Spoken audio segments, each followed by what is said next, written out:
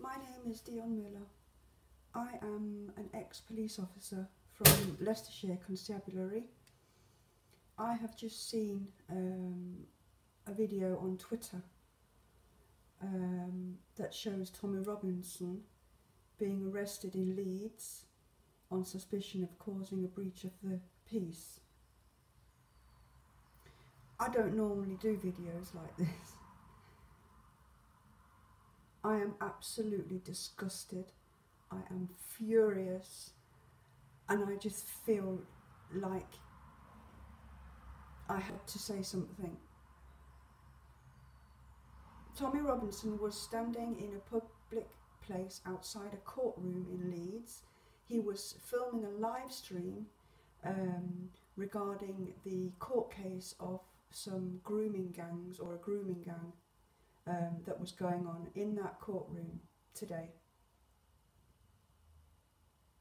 He wasn't shouting, he wasn't making any sort of fuss, any trouble,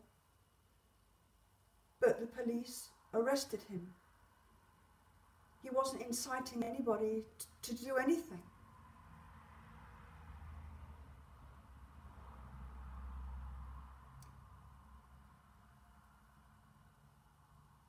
I to think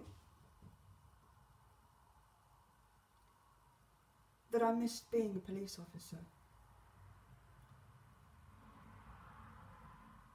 But I'm absolutely over the moon that I am not in the UK anymore and I'm not a police officer there because I think it's shameful, shameful.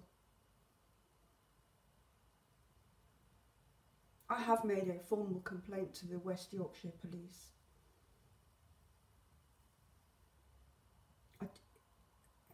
That's all I have to say. I, I, really don't have any more words. I am, I'm, I'm actually quite upset.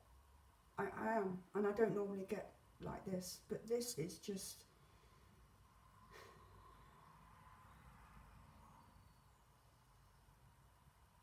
I don't know what else to say.